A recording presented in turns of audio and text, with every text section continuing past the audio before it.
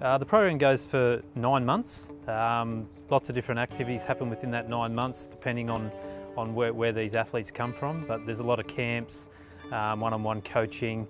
We're really um, not only developing their cricket skills but also educating them on other things like um, nutrition, um, the, the, psychology part of sport, starting to develop their SNC to um, give them the best chance of, of developing through the pathway and being the best cricketers they can be.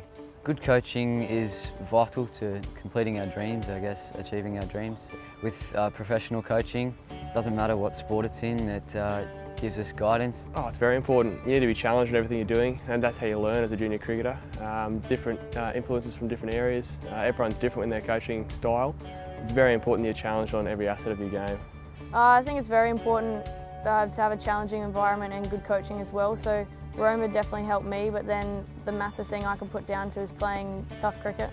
Coaching is important because you can't learn new skills without coaching and you can't work on things without coaches. It ends up being about 108 Queensland wide. Each coach and talent development specialist has got 18 male and females with, within their control. So yeah, and that's, that's throughout the whole of Queensland. It's always important as a youngster that you remember why you play the game, and that's for fun. If you're not enjoying the game, then you might as well give it away. So having fun is really important, and also to challenge yourself in all, all, all facets of the game. Always looking to better yourself, uh, always have a goal and stick it off.